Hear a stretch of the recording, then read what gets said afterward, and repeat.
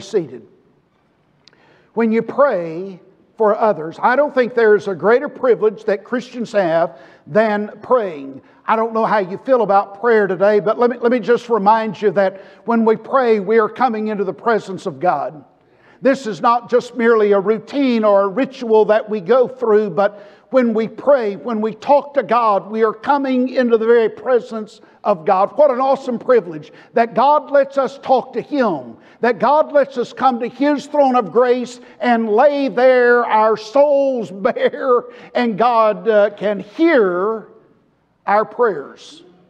But it is also a privilege to be able to pray for other Christians. Now, if you're a parent, especially if you have teenagers, I know you're praying for your kids.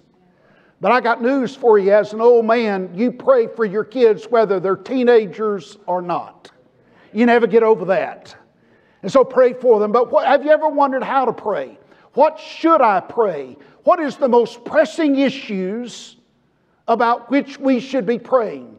I want to show you from our text today that there are three things about prayer that we need to learn.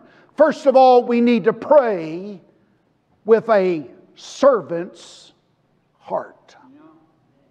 In other words, what I'm saying to you this morning, dear friend, is we don't come to the throne of God in arrogance and in pride, and we don't come to the throne of God making our demands of God. That is not what prayer is. Prayer is not informing God, prayer is not making demands of God. Prayer is coming to God as a servant.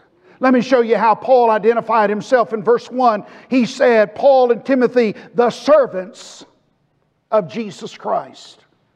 Now, if you've read any of the Pauline epistles at all, you immediately know, uh, notice something that is a little different. Throughout the Pauline epistles, Paul would identify himself and his associate, and then he would say, I am an apostle of Jesus Christ. He had every right to say that. He was indeed an apostle, but he doesn't say that to the Philippians. He doesn't say, Paul and Timothy and I am a, an apostle of Jesus Christ. He says, I am a servant of the Lord Jesus Christ. Slavery was rampant in Philippi, which was an outpost of the Roman Empire.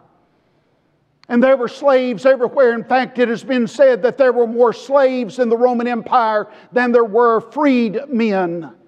And there were all of these negative connotations about slavery as there is in our day. But Paul doesn't say that he is a slave of Pilate. He doesn't say that he is a slave of, uh, of, a, of a country or of a government. He says, I am a slave of Jesus Christ. That changes everything.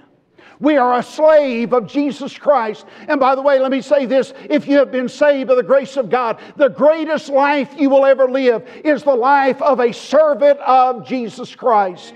You see, when, when we, we, we, plot, we plan, we have our calendars, we have our phones, but at the end of the day, as a slave of Jesus Christ, we get up every morning reporting for duty and we receive the directions of the day from our King. We're just servants. Implied in this word also is that we don't have any rights. We don't have the right to say, well, I'm going to do this or I'm going to do that. No, no, no, no. As slaves, as slaves, we don't get our direction from ourselves, we get our direction from our King. Amen. Come on. Now, here's the necessary attitude for you to be a servant of the Lord Jesus, here's the necessary attitude humility. A slave of Jesus Christ. Do you know why many of our prayers are not answered? I'm convinced. Because we come into, God, into God's presence with this attitude that God owes me or that I deserve and friend, I want to tell you an attitude of humility will never lead you to the conclusion that you deserve anything from God. The fact of the matter is, we don't deserve anything. We don't deserve the salvation that God has given us. We don't deserve access into the presence of God. We don't deserve for God to hear our prayers. We don't deserve for God to act on our behalf. It is all by the grace of God. And by the way, you say, Well, I'm not sure I want to have a humble heart, and, and I'm not sure what that would look like. In chapter 2, Paul says that it was Christ who was made in the form of a servant, a slave. Christ, the King of kings and Lord of lords, became a servant in order that we might have salvation. Amen. When you pray, pray with a humble heart. Amen. Secondly, when you pray, pray with a heart of thanksgiving. You'll notice in verse 3 that, that Paul says, I thank my God upon every remembrance of you. Every prayer ought to include an element of thanksgiving. Every prayer should include an element of thanksgiving. You see, this is not, we're not talking about a national holiday. We're talking about a way of life for every believer that, that gratitude fills our heart, that thanksgiving is a part of our life. We, we live as a grateful people, acknowledging that God's grace and God's goodness is operative in our lives, and we offer up daily, many times a day, a prayer of thanksgiving to God. I thank my God, but now watch this, and I know you already know this, but let me point it out to you. Paul said, I thank thank my God upon every remembrance of you.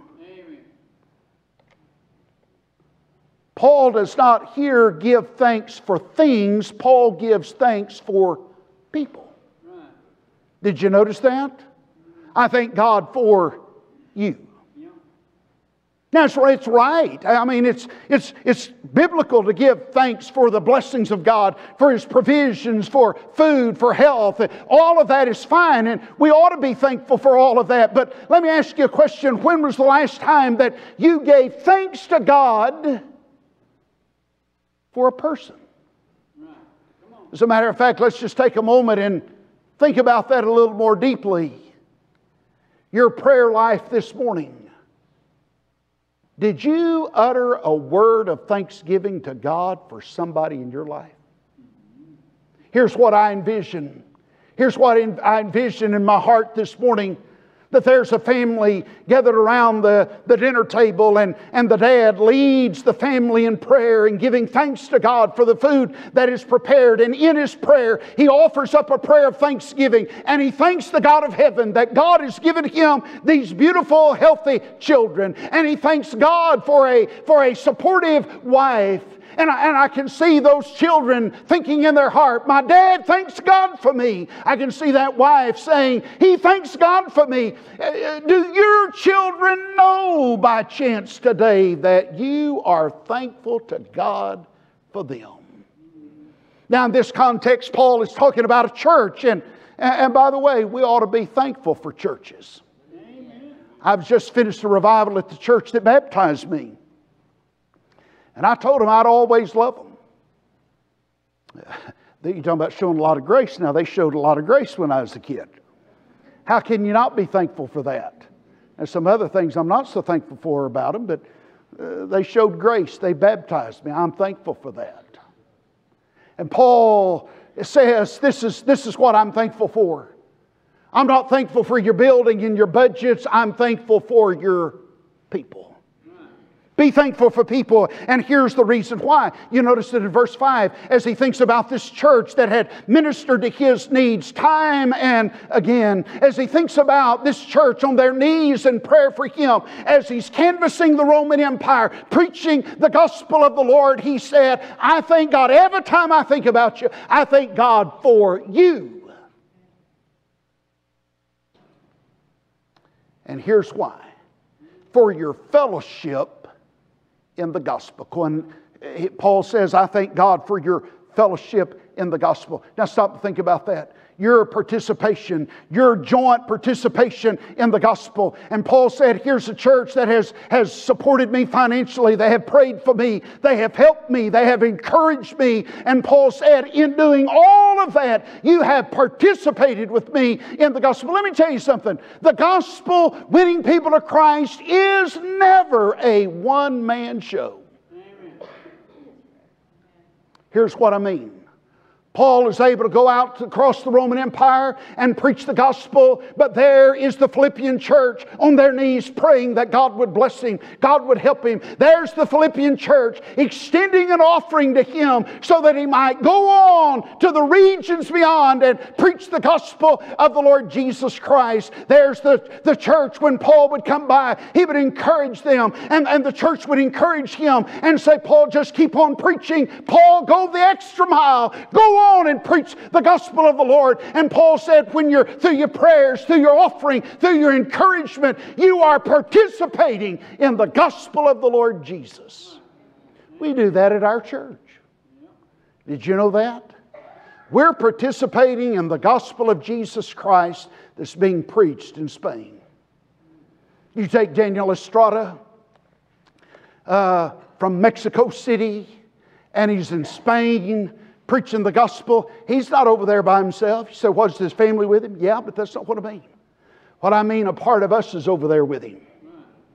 Every time you pray this week for the Estrada family, guess what's happening? You are participating in the fellowshipping in the gospel of the Lord Jesus Christ when you lift him up to God in prayer and he's out there preaching and he's out there witnessing and somebody gets on their face before God and calls upon the name that is above every name and they are saved. We have fellowshipped in the gospel. Think about it. Think about it. Think about how unlimited the possibilities are. We, we, we, we can reach our community. We can reach our families. We can reach our city. But how can we ever reach the regions beyond? We can do it through financial financial offerings. We can do it through praying for these men whom God has sent to the regions beyond. And every time, listen to me, every time somebody is saved through the preaching of the gospel, we have participated in that person's salvation.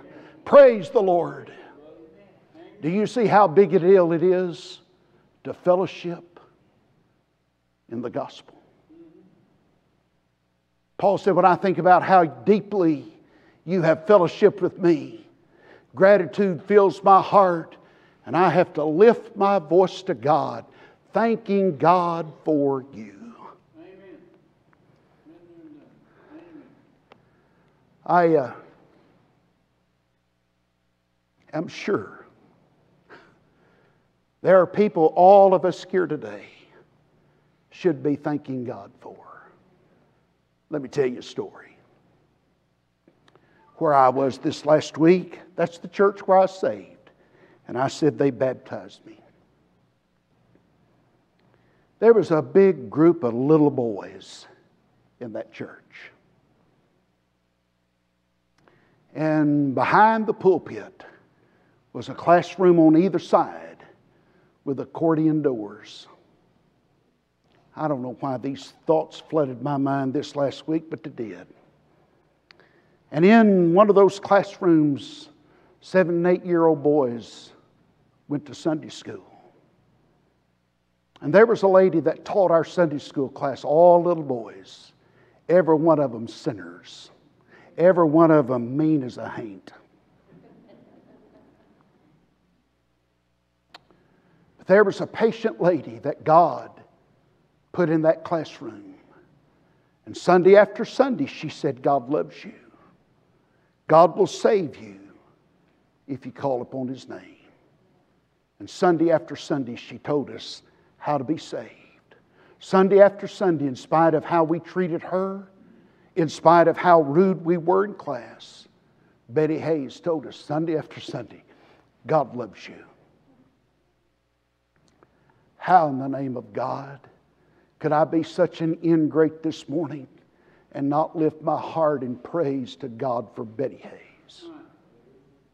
How could you this morning have a godly mom and daddy that raised you up in the ways of Christ, that taught you from day one God loves you and you can be saved, and you not lift up your heart and voice in praise to God, thanking God that you had a mom and daddy that loved you enough to lead you to faith in Jesus Christ? Think now Think now. Think right this moment. Who is it you ought to be giving thanks to God for? Somebody that shared the gospel with you, somebody that helped you in a difficult time, somebody that showed you the way of the Lord. all of us have people in our lives that fellowshipped in the gospel that helped us. Paul said, I'm thankful. How do you pray when you pray for others? You, you pray with a servant's heart. How do you pray when you pray for others? You pray with a thankful spirit. Now I want to move on quickly to the third and final thing, and that is you pray for the spiritual more than the physical. Now, there's not anything wrong in praying for the physical. We pray for sick people to get well all the time. That's why I make hospital visits and shut in visits, that I might pray with that individual that God would heal their body, bless what's being done on their behalf. Uh, nothing wrong in praying for God to give you a job. Uh, nothing wrong in praying for physical things, but, but notice in Paul's prayer that the focus is not on the physical. Everything he prayed for the Philippians was in the realm of the Spirit. Here's what I'm talking about. Look, look with me, if you will, in verse number nine. Paul said, And this I pray so in verse 1, he says, I'm a servant. In verse 3, I thank my God. In verse 9, and this I pray, that your love, number one, may abound yet more and more. Paul said, This is what I'm praying for you. I'm praying that your love would abound. Now, notice that Paul does not identify the object of the love. He doesn't tell us whether he's praying that their love for God would increase or whether he's talking about whether their love for one another would increase.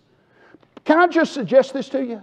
If your love for God increases, your love for other believers is going to increase right along with it. You see, that, that relationship is so intertwined, you really cannot make that dichotomy. You cannot separate that. The more you love God, the more you'll love God's people. The more you love God, the more you'll love your family. The more you love God, the more you'll love uh, uh, uh, other human beings. So Paul said, I'm praying that your love might abound yet more and more. Several things are implied. Number one is that love can be commanded. And love is in the Bible. We are commanded to love God. We are commanded to love one another. Secondly, love can increase. I love you today more than yesterday. I love you more today than ever.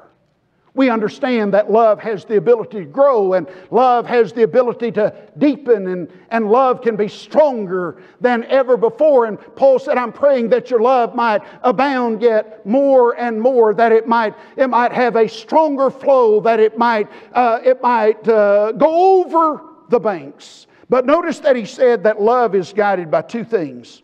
Number one, knowledge and judgment. Love's not sloppy. I, said, love's not sloppy. Love is not mere sentimentality. Love is to be guided by knowledge and discernment. So Paul said, first of all, this is what I'm praying for you. I'm, I'm praying that your love might abound, that it might be superfluous, that, that it might uh, flow with a great force. Do you need to pray that for anybody today? Anybody you're trying to fix? And instead of trying to fix them, maybe you would just pray that God would cause their love to abound yet more and more. And by the way, that fixes about everything, doesn't it? So Paul says, first of all, not only am I thankful to God for you, but I am asking God to increase your capacity for love, that you would love yet more and more. But notice that he, he doesn't stop there. He says in verse 10 that you may approve things that are excellent. That you might approve is a, is a word from the refinery. Uh, it was a word for testing gold. And they would put fire to the gold and it would draw out all of the dross and all of the impurities so that only the pure gold would remain. And Paul said, I'm praying that you would have the ability to discern, to make good decisions, that you might know that which is excellent. Uh, in life, the decision is not always between good and bad. That would make life simple, right? I mean, I I'm, I'm giving y'all a lot of credit, but I think most of y'all get that right. If, if, if life's decision is only about good and bad, I'm betting you're going to get the good. But what about making the decision between better and best. Now, now it gets a little more difficult. Now it's a little bit a little more difficult to discern.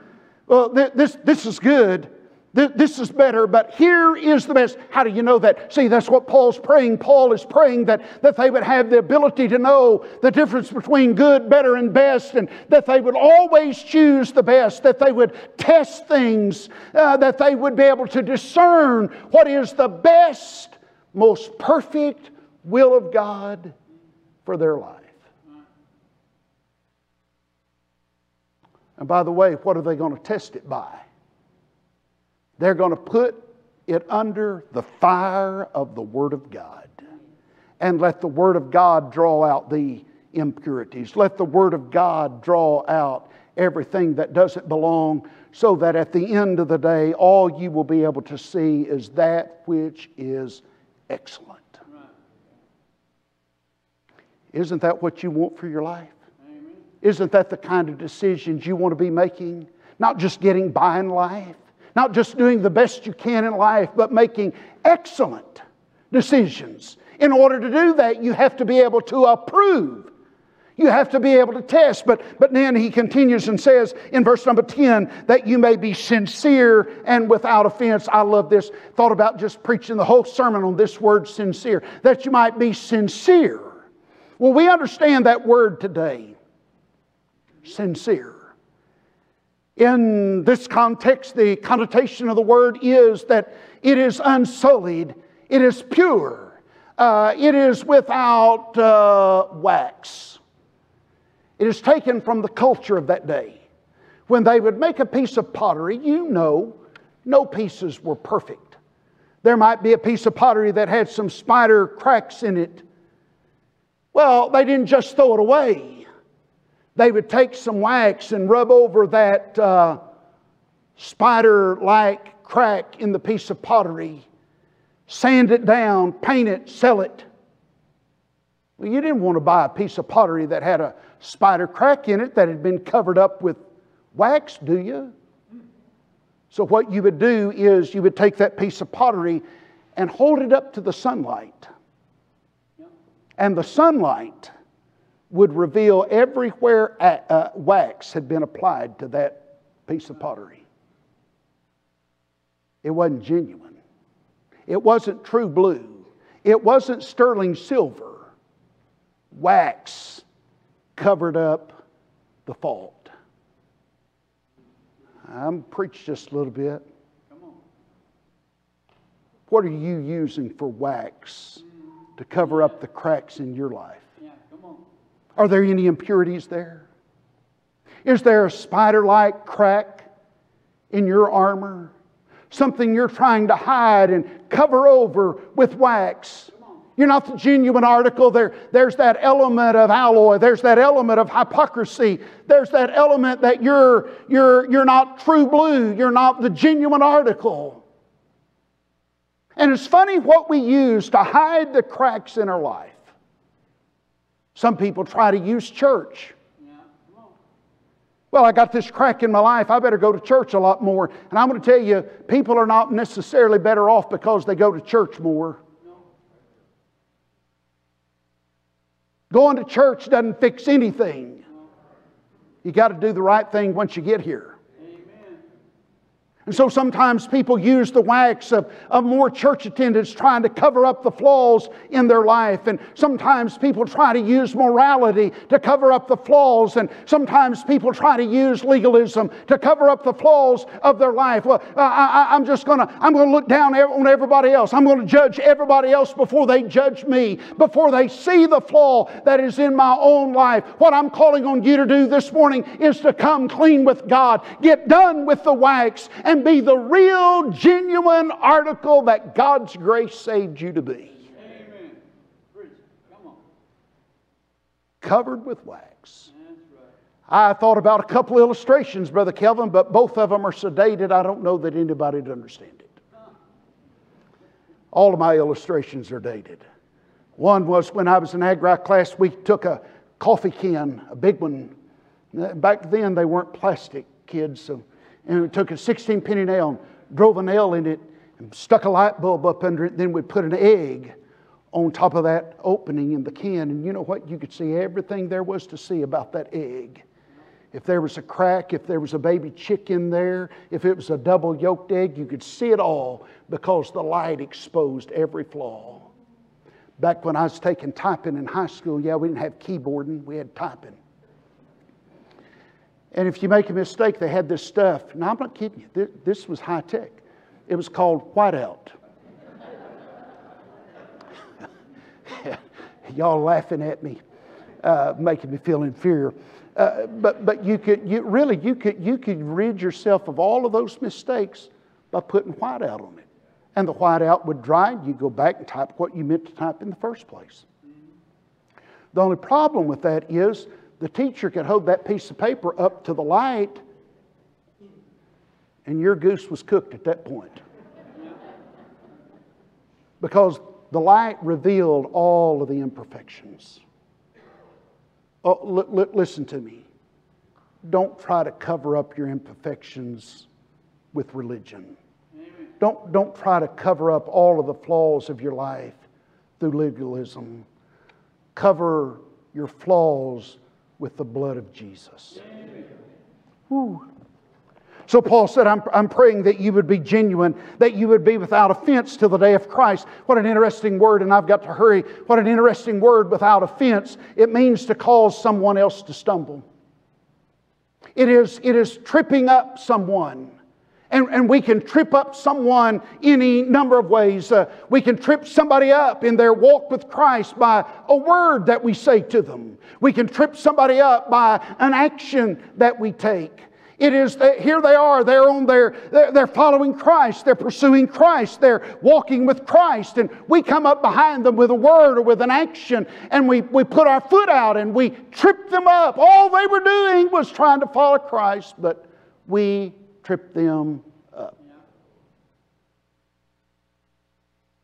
I, I want to just say to you today, as the sweet people of God, this is something every one of us should fear. Tripping someone who's trying to follow Jesus. I think about those parents who come to church and sing the praises of God and go home and talk to their kids like they're subhuman. They're tripping up their children. I think about those Christians that come to church on Sunday, respond to the invitation, get down in the altar and pray, and then go to work on Monday, and they're dishonest, and they have anger issues. They're tripping up those who are trying to walk with Jesus without offense till the day of Christ. And then his last petition is in the form of a participle. You see it in verse 11. He says, being filled with the fruits of righteousness.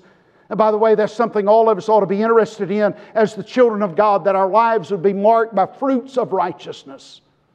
And I know we may protest and say, well, you know how I can't do that. That is the very first thing you have to realize is that you can't produce fruits of righteousness. But notice the prepositional phrase. He says, These fruits of righteousness are by Jesus Christ. You see, here's the key. This is the way it is done. God's not asking you to manufacture or to produce anything. He's simply asking you to let Him do it through you. Notice how his prayer ends and I want to ask you a question unto the glory and the praise of God. Do you think Paul was thinking about how the model prayer ended? For thine is the kingdom and the power and the glory forever. And Paul kind of ends with that same tone, that same note. And he said, All of this, love abounding, making good, solid decisions about that which is excellent, all of this about being genuine and sincere, and all of this about the fruits of righteousness, all of this about not offending anybody in their walk with Christ, all of this is to the praise and glory of God. So when you pray, pray with a servant's heart.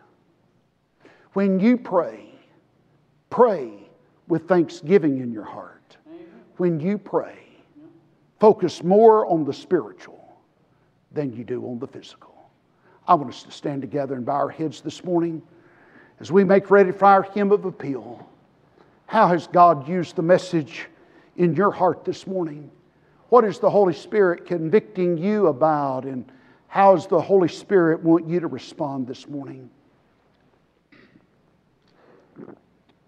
If you've never been saved, and listen, for whatever reason, you've just never done it, you've just never come to Christ, but the Holy Spirit of God is convicting you now, making you aware of your sin and your need of Jesus.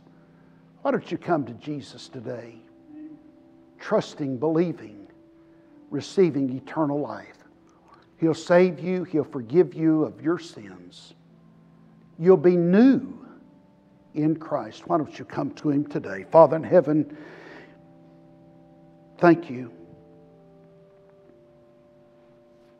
for the people in our lives, Lord, who have loved us, who have encouraged us, who have pointed us in the right direction. Thank you, Lord, for your grace and goodness. In the name of Jesus, we pray. Amen.